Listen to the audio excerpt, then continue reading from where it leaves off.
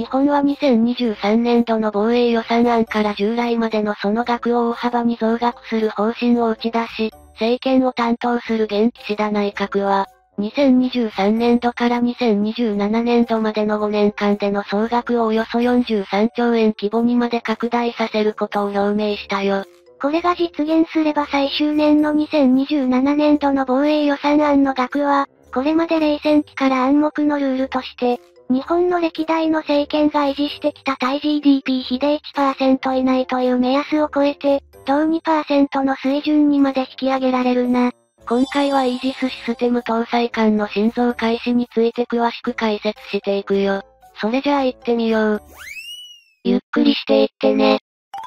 さて、こうした防衛予算額の引き上げは今でも一部の野党や団体個人から、これまで太平洋戦争の敗戦以後、長らく積み重ねてきた日本の専守防衛という理念を無にする行いだとして、多くの批判の声が上げられているよ。しかし中国による南シナ海や東シナ海を軍事的な勢力化に収めんとする動きの激化は、台湾有事やその際に派生するであろう南西諸島方面への脅威の高まりを前に、多数の国民からは防衛予算案の増額はやむを得ないと捉えられているんだ。これは選挙結果から見ても現政権与党である自民党と公明党が支持されていることからも裏付けられているが、2022年2月にロシアがウクライナへの軍事侵攻に踏み切ったことでさらにその承認につながった感は強いように見えるな。こうした状況下の日本において2024年度の防衛予算の概算要求では単体でことに大きな費用となる、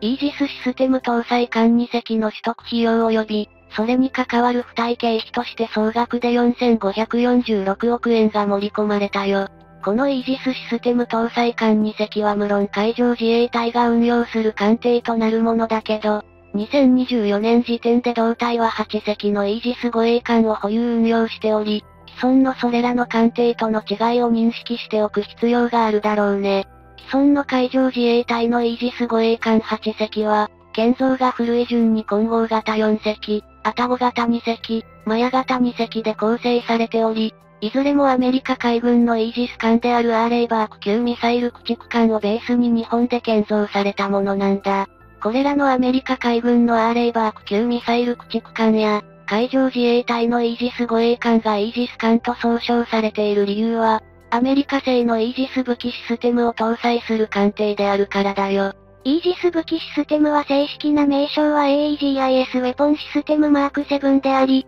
アメリカ海軍とゲンロッキード・マーチン社が1960年代から1970年代に新たな艦隊防空を担う兵器システムとして開発を行ったものだな。ただし開発されたイージス武器システムは、当初の主目的であった艦隊防空任務に止まらず、レーダーセンサ類とデータリンクを可能としたコンピュータシステム、それに各種のミサイル等の並走を連携させることで様々な戦闘に対処可能となっているぜ。これによりイージス武器システムは対空対艦対地等の各局面の戦闘に迅速に対処可能なものとなり、一度に同時対可能な目標の数は実に128箇所を超えると言われており、それら補足した目標から脅威度の高いものから順に10箇所以上を同時攻撃可能とされているわけだ。イージス武器システム自体の1セット分の調達費用はおよそ500億円程度と目されており決して安価とは言い難いものの、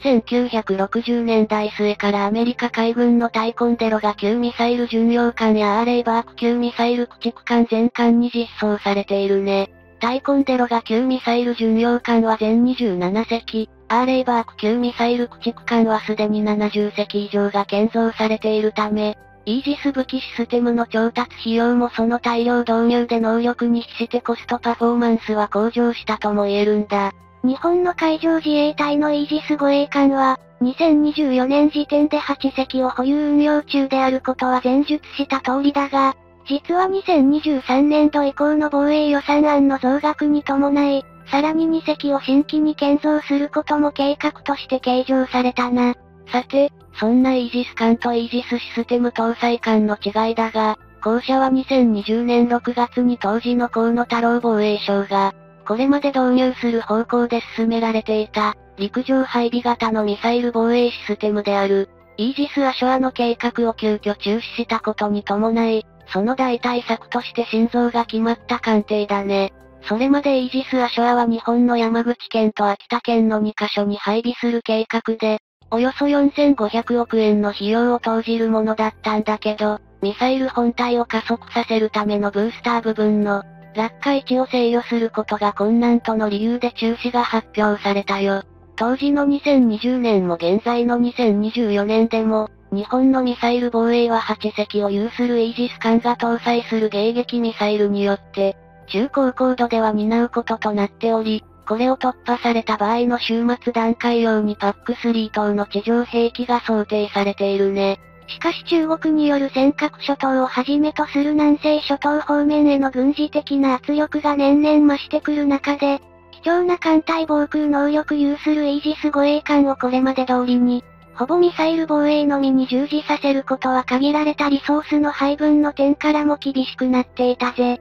そこでイージス・アショアを配備することでイージス護衛艦の有効活用を図ろうとしたわけだが、前述したようにそれはブースター部分の落下位置を制御することが困難との理由で結果的に断念することとなったと思われるわけだ。個人的にはこれが今のタイミングであれば、イージス・アショアを配備予定であった山口県と秋田県の2カ所に、そのブースターを空中で破壊する仕組み、例えば PAC3 や降車機関砲等を専属配置する案も出せたのではないかと感じるな。それらが確実にイージス・アショアのミサイル本体から切り離されたブースター部分を、民間に被害を生じさせないように破壊できるか否かは断定できなくとも、今のロシア・ウクライナ戦争を見れば、本当の戦時には多少の犠牲もやむなしとの判断も下った可能性はあるかもしれないね。家庭の話をしてもしょうがないかもしれないが、何にせよ日本はイージス・アショアの導入を断念したため、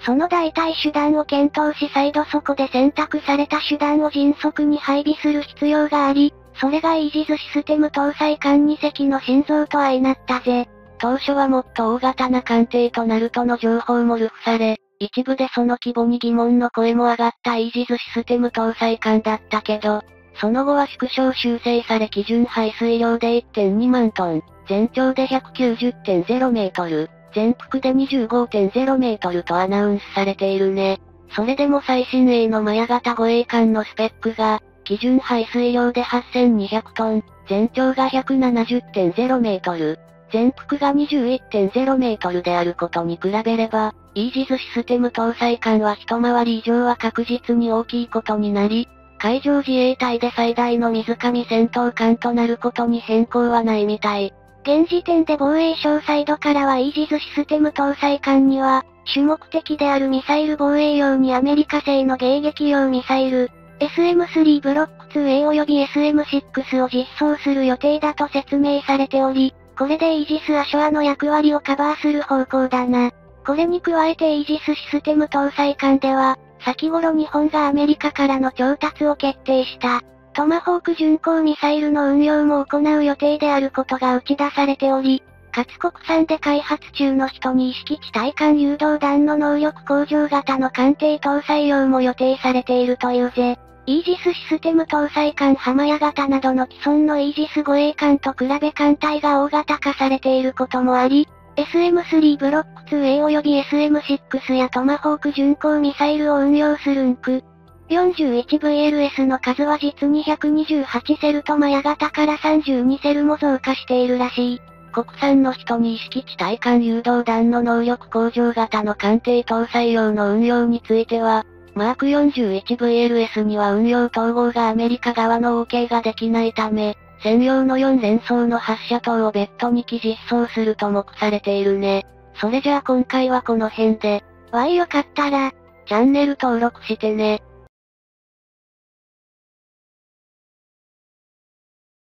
日本は2023年度の防衛予算案から従来までのその額を大幅に増額する方針を打ち出し、政権を担当する現岸田内閣は2023年度から2027年度までの5年間での総額を、およそ43兆円規模にまで拡大させることを表明したよ。これが実現すれば最終年の2027年度の防衛予算案の額は、これまで冷戦期から暗黙のルールとして日本の歴代の政権が維持してきた対 GDP 比で1%以内という目安を超えて、同2%の水準にまで引き上げられるな。今回はイージスシステム搭載艦の心臓開始について詳しく解説していくよ。それじゃあ行ってみよう。ゆっくりしていってね。さて、こうした防衛予算額の引き上げは今でも一部の野党や団体個人から、これまで太平洋戦争の敗戦以後、長らく積み重ねてきた日本の専守防衛という理念を無にする行いだとして、多くの批判の声が上げられているよ。しかし中国による南シナ海や東シナ海を軍事的な勢力下に収めんとする動きの激化は、台湾有事やその際に派生するであろう南西諸島方面への脅威の高まりを前に、多数の国民からは防衛予算案の増額はやむを得ないと捉えられているんだ。これは選挙結果から見ても現政権与党である自民党と公明党が支持されていることからも裏付けられているが、2022年2月にロシアがウクライナへの軍事侵攻に踏み切ったことでさらにその承認につながった感は強いように見えるな。こうした状況下の日本において2024年度の防衛予算の概算要求では単体でことに大きな費用となる、イージスシステム搭載艦2隻の取得費用及び、それに関わる付帯経費として総額で4546億円が盛り込まれたよ。このイージスシステム搭載艦2隻は無論海上自衛隊が運用する艦艇となるものだけど、2024年時点で同隊は8隻のイージス護衛艦を保有運用しており、既存のそれらの艦艇との違いを認識しておく必要があるだろうね。既存の海上自衛隊のイージス護衛艦8隻は、建造が古い順に混合型4隻、アタゴ型2隻、マヤ型2隻で構成されており、いずれもアメリカ海軍のイージス艦であるアーレイバーク級ミサイル駆逐艦をベースに日本で建造されたものなんだ。これらのアメリカ海軍のアーレイバーク級ミサイル駆逐艦や、海上自衛隊のイージス護衛艦がイージス艦と総称されている理由は、アメリカ製のイージス武器システムを搭載する艦艇であるからだよ。イージス武器システムは正式な名称は AEGIS ウェポンシステムマーク7であり、アメリカ海軍と現ロッキード・マーチン社が1960年代から1970年代に新たな艦隊防空を担う兵器システムとして開発を行ったものだな。ただし開発されたイージス武器システムは、当初の主目的であった艦隊防空任務に止まらず、レーダーセンサ類とデータリンクを可能としたコンピュータシステム、それに各種のミサイル等の並走を連携させることで様々な戦闘に対処可能となっているぜ。これによりイージス武器システムは対空対艦対地等の各局面の戦闘に迅速に対処可能なものとなり、一度に同時対可能な目標の数は実に128機を超えると言われており、それら補足した目標から脅威度の高いものから準20形状を同時攻撃可能とされているわけだ。イージス武器システム自体の1セット分の調達費用はおよそ500億円程度と目されており決して安価とは言い難いものの、1960年代末からアメリカ海軍のタイコンデロが旧ミサイル巡洋艦や、アーレイバーク級ミサイル駆逐艦全艦に実装されているね。タイコンデロが旧ミサイル巡洋艦は全27隻、アーレイバーク級ミサイル駆逐艦はすでに70隻以上が建造されているため、イージス武器システムの調達費用もその大量導入で能力に比してコストパフォーマンスは向上したとも言えるんだ。日本の海上自衛隊のイージス護衛艦は、2024年時点で8隻を保有運用中であることは前述した通りだが、実は2023年度以降の防衛予算案の増額に伴い、さらに2隻を新規に建造することも計画として計上されたな。さて、そんなイージス艦とイージスシステム搭載艦の違いだが、後者は2020年6月に当時の河野太郎防衛省がこれまで導入する方向で進められていた、陸上配備型のミサイル防衛システムであるイージス・アショアの計画を急遽中止したことに伴い、その代替策として心臓が決まった艦艇だね。それまでイージス・アショアは日本の山口県と秋田県の2カ所に配備する計画で、およそ4500億円の費用を投じるものだったんだけど、ミサイル本体を加速させるためのブースター部分の落下位置を制御することが困難との理由で中止が発表されたよ。当時の2020年も現在の2024年でも、日本のミサイル防衛は8隻を有するイージス艦が搭載する迎撃ミサイルによって中高高度では担うこととなっており、これを突破された場合の終末段階用にパック3等の地上兵器が想定されているね。しかし中国による尖閣諸島をはじめとする南西諸島方面への軍事的な圧力が年々増してくる中で、貴重な艦隊防空能力有するイージス護衛艦をこれまで通りにほぼミサイル防衛のみに従事させることは、限られたリソースの配分の点からも厳しくなっていたぜ。そこでイージス・アショアを配備することでイージス護衛艦の有効活用を図ろうとしたわけだが、前述したようにそれはブースター部分の落下位置を制御することが困難との理由で、結果的に断念することとなったと思われるわけだ。個人的にはこれが今のタイミングであれば、イージス・アショアを配備予定であった山口県と秋田県の2カ所に、そのブースターを空中で破壊する仕組み、例えばパック3や降車機関砲等を専属配置する案も出せたのではないかと感じるな。それらが確実にイージス・アショアのミサイル本体から切り離されたブースター部分を、民間に被害を生じさせないように破壊できるか否かは断定できなくとも、今のロシア・ウクライナ戦争を見れば本当の戦時には多少の犠牲もやむなしとの判断も下った可能性はあるかもしれないね。家庭の話をしてもしょうがないかもしれないが、何にせよ日本はイージス・アショアの導入を断念したため、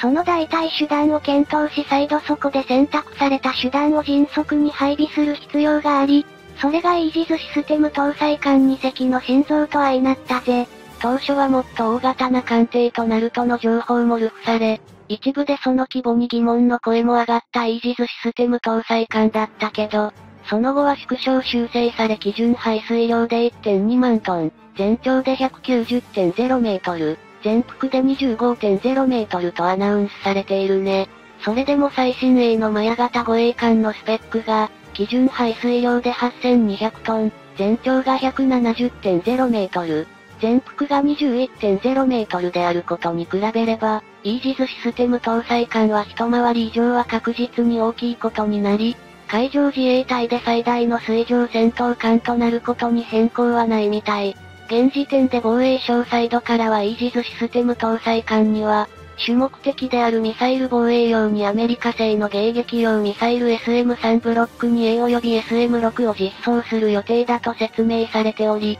これでイージス・アショアの役割をカバーする方向だな。これに加えてイージスシステム搭載艦では、先頃日本がアメリカからの調達を決定したトマホーク巡航ミサイルの運用も行う予定であることが打ち出されており、かつ国産で開発中の人に意識地対艦誘導弾の能力向上型の艦艇搭載用も予定されているというぜ。イージスシステム搭載艦浜屋型などの既存のイージス護衛艦と比べ艦隊が大型化されていることもあり、SM3 ブロックに A 及び SM6 やトマホーク巡航ミサイルを運用するんく。41VLS の数は実に128セルとマヤ型から32セルも増加しているらしい。国産の人に意識地対艦誘導弾の能力向上型の艦艇搭載用の運用については、マーク、41VLS には運用統合がアメリカ側の OK ができないため、専用の4連装の発射塔を別途2機実装すると目されているね。それじゃあ今回はこの辺で、よかったら、チャンネル登録してね。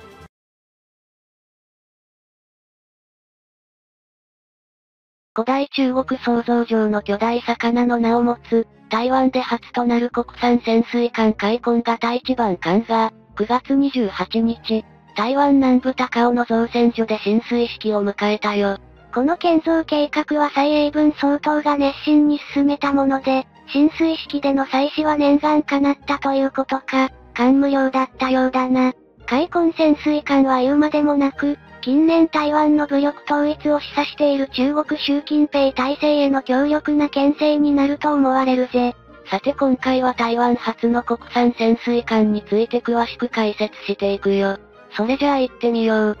ゆっくりしていってね。中国は台湾の潜水艦に身の程知らずと非難したんだけど、逆に言えば、中国にとってかなりの深刻事態だから、過敏に反応したのではないかとも見られているね。通常動力型潜水艦の開墾は、その名にふさわしく、通常型としては大きい艦隊なんだけど、同タイプの海事最新型潜水艦大芸型よりはちょっと小さいみたい。特徴としては、大芸型と同様、高性能リチウムイオン電池採用により2週間ほどの連続潜航可能と推測されること。アメリカの源泉に搭載される最新戦闘システムを採用していること。さらに高性能長距離誘導魚雷射程約 50km を装備していることだね。兵装の中でも、マーク48魚雷は時速70から 100km、敵が回避しても再指令によって何度も攻撃を繰り返すしつこい魚雷で、もはや水中対艦ミサイルとみなしても誇張ではないほどのスペックだよ。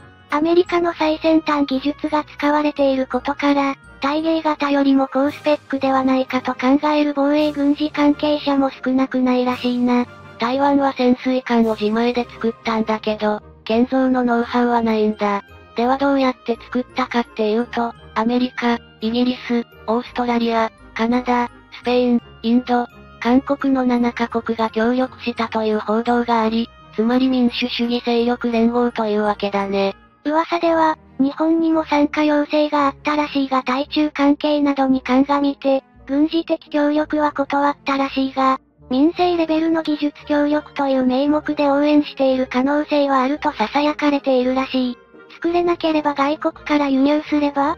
という声もあるようだが、台湾は国際的にも非常に微妙な存在なため、潜水艦の完成品を外国から輸入するとしても売却する国はほとんどないだろうな。世界の多くの国は中国との国交を選んだため、建前上は一つの中国の原則に従って台湾と断交していて、日本も例外ではなく、そのため、台湾へ武器を輸出することは一つの中国体制を踏みにじることだと中国側が猛反発。巨大市場を武器に、貿易制限中止の報復に出るのがいつものやり口になっているんだ。実例として、オランダ潜水艦を売却とフランス1980年代に軍艦やミラージュ戦闘機を販売が、中国の経済制裁でダメージを受けているよ。例外はアメリカだな。台湾の安全保障を謳う国内法台湾関係法を理由に、中国の反対を無視して台湾に武器輸出を続けているぜ。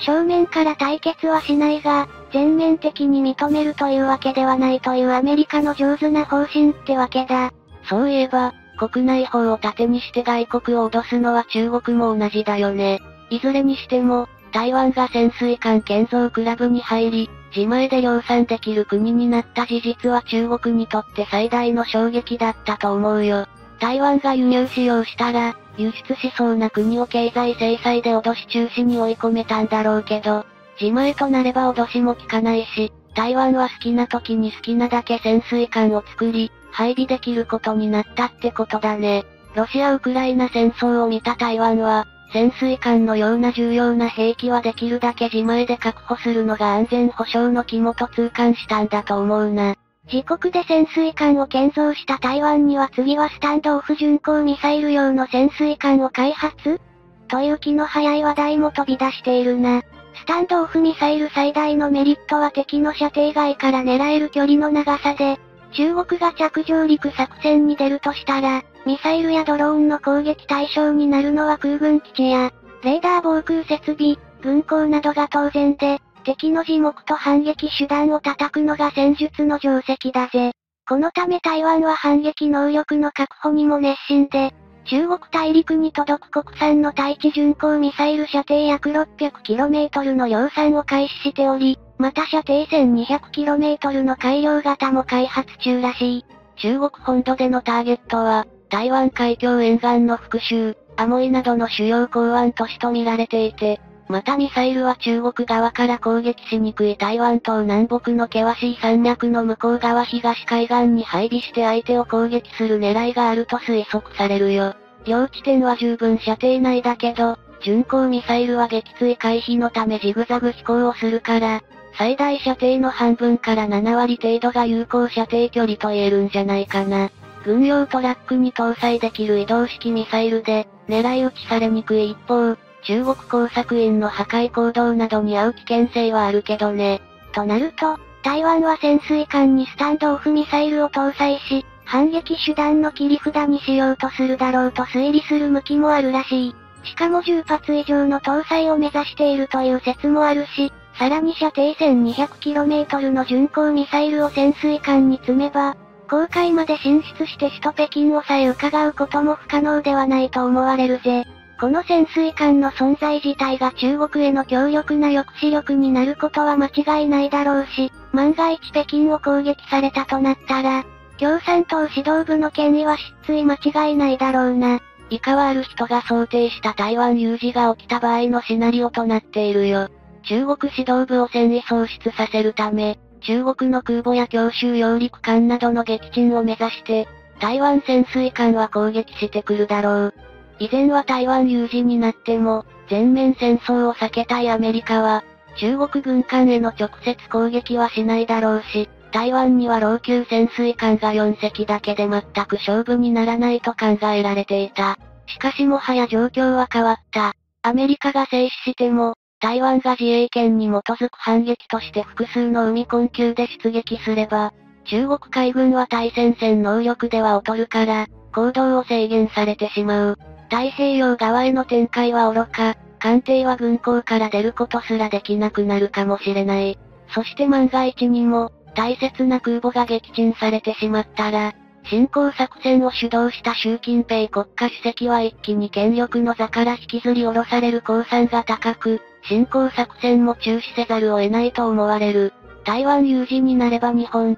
アメリカ、イギリスなど多くの西側潜水艦が水面下で密かに台湾に加勢するだろう。台湾潜水艦が前面に出て、中国の空母や大型軍艦の太平洋展開を阻止すれば、台湾東部太平洋地域で中国が制空権を握るのはほぼ絶望的。となればこの海域に進出した中国潜水艦は、西側の潜水艦や対戦哨戒機に次々に発見されて、撃沈される可能性が高い。潜水艦とは非中の日だから、仮に潜水艦が西側連合軍に撃沈されてしまっても西側が撃沈したとは中国が公言できっこない。自分の弱さをアピールするようなものだし、ごまかそうにも海中の出来事なので証拠もでっち上げにくい。身動きが取れなくなってしまうわけだ。こうなると台湾を海上封鎖し、兵糧攻めで締め上げるというシナリオは瓦解してしまうだろう。台湾の潜水艦建造に関しては、